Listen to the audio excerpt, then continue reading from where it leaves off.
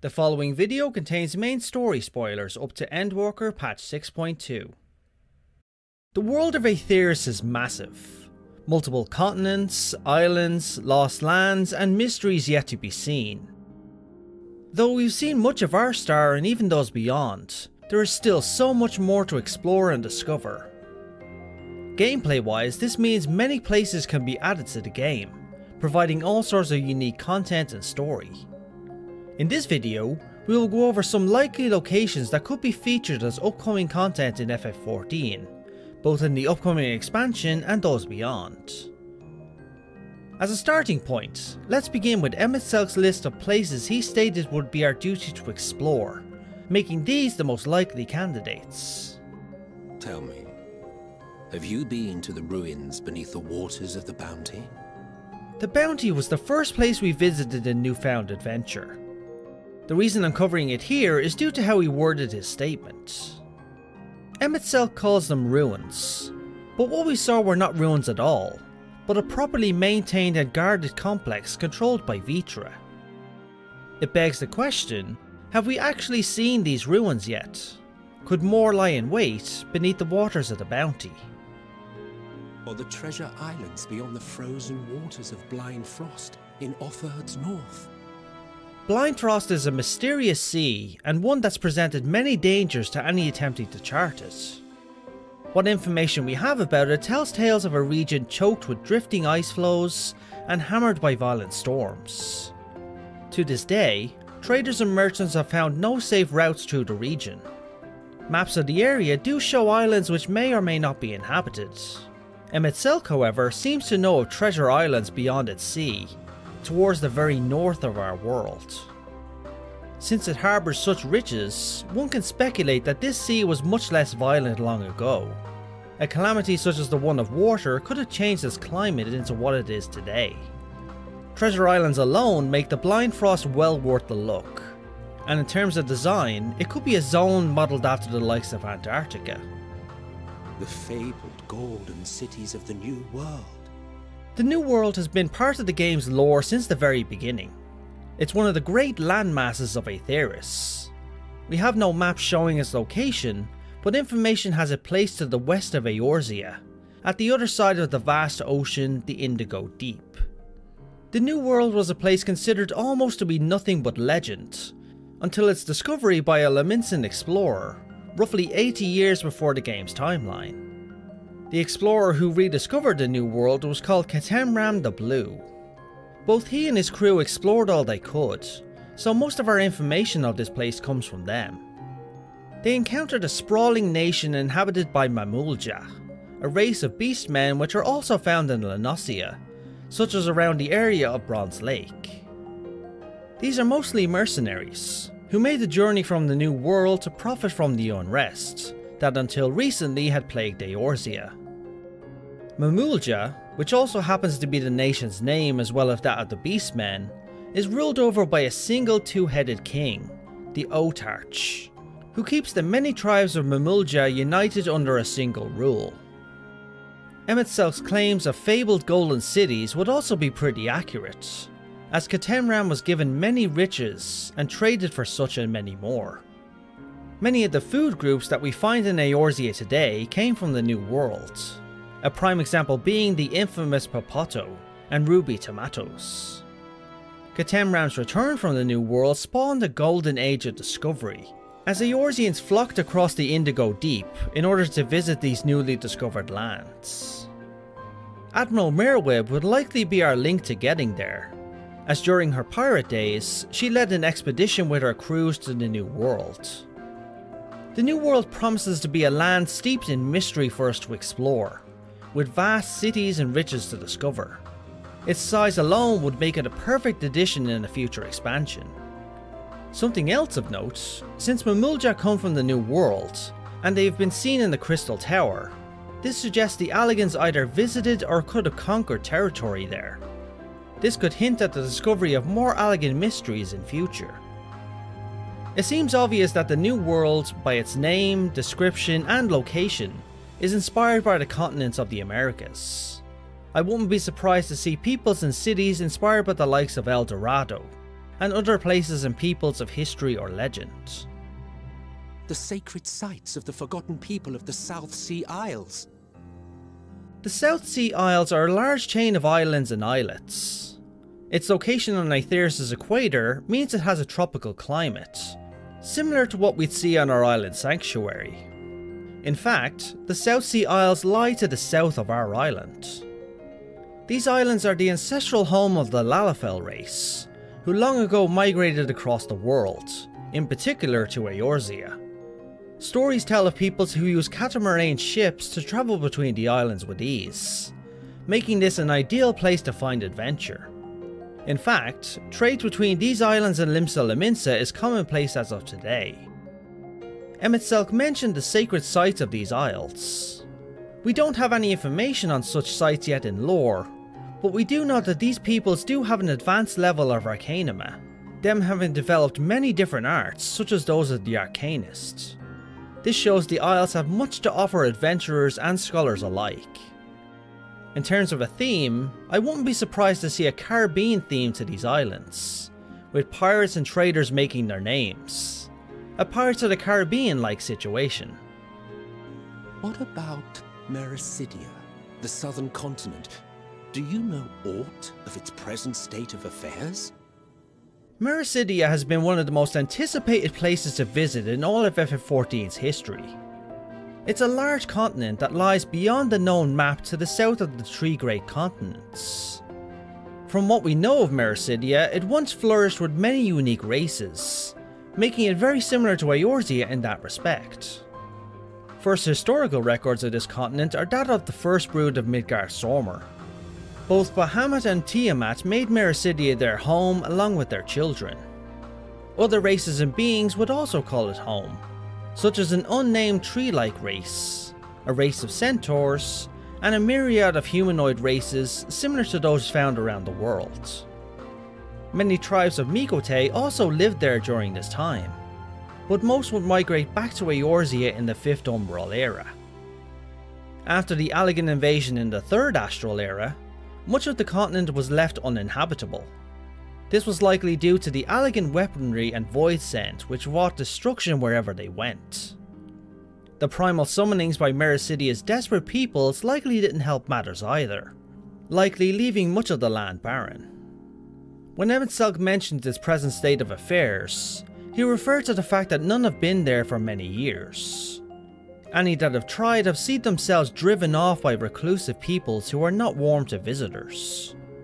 Current theory suggests that Tiamat and her brood may have returned to Meracydia at the end of Shadowbringers, which could be a valid reason for us to visit this lost continent.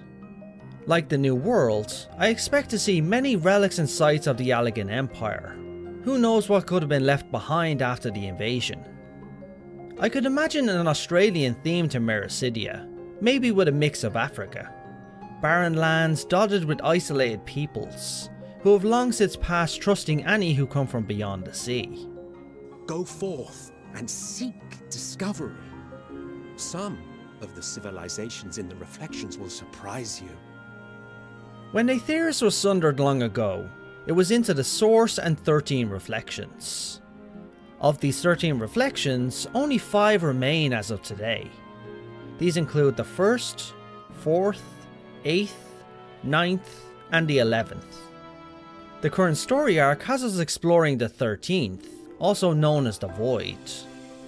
The story hints that we will be seeking to try and restore this reflection, similar to how we helped restore the first.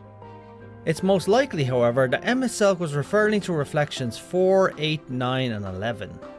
And if Y'shtola learns the secrets to world travel from our experiences in the Void, it may become a reality sooner than we think, which appears to be what the story is setting up.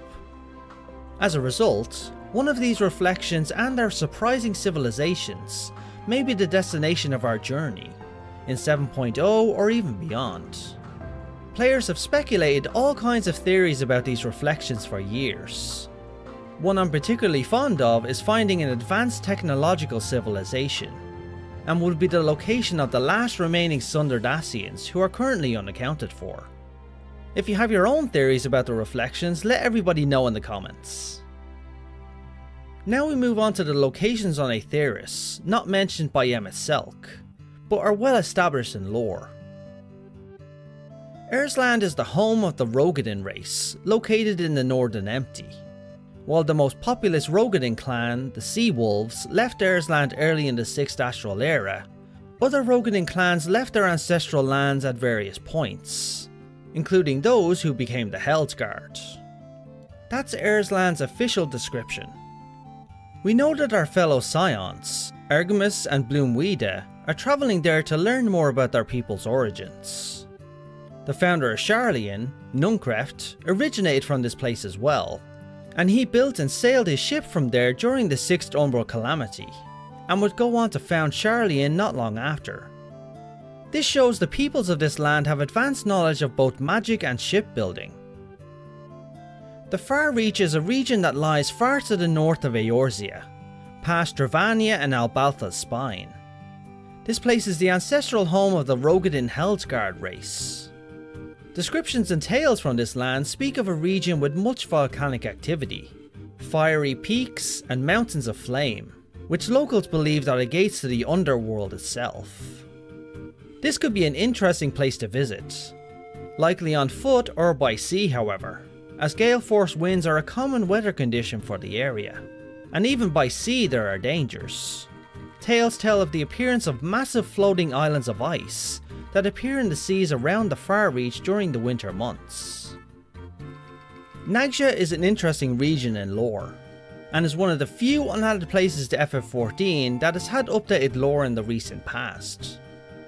It's described as a place covered in swamps and thick jungles, and always hammered with rain.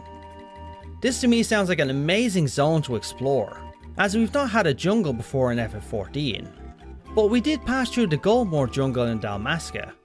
However, for an actual zone, the Great Wood on the first is the closest we've actually gotten to a jungle. In recent lore history, Nagxia finally won its freedom from the rule of the Garlean Empire when it collapsed. The region was occupied by the 4th Imperial Legion until their fall due to the battles in Bozja. We know little about Nagxia's current status, but it may soon be time for us to visit there. Our fellow Scions are already making plans to go there, and even have a guide.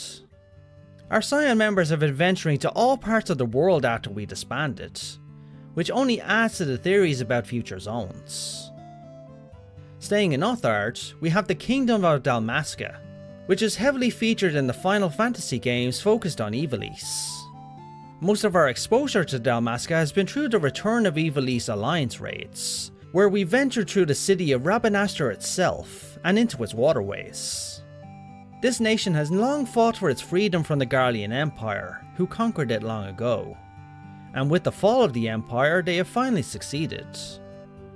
Dalmasca and Rabanastre are steeped in lore from the series, making them ideal places to be added to FF14, especially since we've already seen parts of both. A good story to be told there could be Dalmasca's struggle to reform its kingdom, due to the vast number of resistance factions that the region had, all whom had different ideologies and opinions on what the new kingdom should be reformed as. Hingashi would be a welcome region to be added to the game, as Kugane is situated within its borders. Hingashi is a nation which maintains a neutral standing, and has an isolationist policy. They adopted this due to the threat of the Garlean Empire as they continued their reign of conquest. While Kugane is part of their nation, you may have noticed the high walls and gates that prevent anyone from passing. Kugane itself sits on an island furthest to the west of that region. Travel and trade are strictly regulated and almost non-existent with the city of Bukyo, the capital of Hingashi. With the empire gone, their attitude towards opening their borders once again may have softened. The ideal gameplay and lore excuse to add Hingashi to FF14. This would be a fascinating region to explore for a number of reasons. Hingashi is the origin point for the arts of the samurai, ninja, and even geomancers. If ever geomancer or a similar job were added to FF14, my bets are on Bukyo being added with it. This region would explore more older Japanese culture, as Hingashi is ruled by an emperor and a militarized government. Corvos is a country that lies to the south of the continents of Ilsabard. Many years ago, this region was inhabited by a myriad of races, who would soon be joined by the survivors of the city of Gog, who would later become the Garleans. These Garlean peoples will be forced out of Corvos by the magic wielding races, forced to settle in the far north. When the Empire rose to power, Corvos was one of their first conquests, not only for the lands they held, but also an act of revenge. This land has many legends about it. One claims that the ancient king of Corvos bid the queen of a tribe of fairies to make him an object that none have seen before. This would turn out to be a flying carpet. Garlemald's conquering of Corvos happened around 50 years before the events of FF14. Our very own G'raha Tia was originally from Corvos. His former tribe is still active in the region, but has remained in hiding due to their connections with Allag, which the Empire would have tried to exploit. Corvos gained its independence when the Empire fell. Our fellow Scions have already been there to assess the situation. Corvos was heavily affected by the final days. The Second Legion, that held Corvos, was wiped out by the Terminus beasts.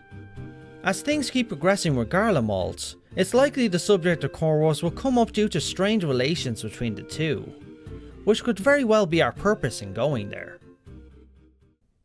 And those are my picks for the locations to be added in FF14 in the future. The world of FF14 has so many unexplored locations, and there are so many more that I haven't mentioned. Let me know your opinion on this subject and what places you could see added in 7.0 and beyond. Click that like button to show your approval of the video, and feel free to subscribe to stay tuned for more. Thanks all, and now, as always, have a good one.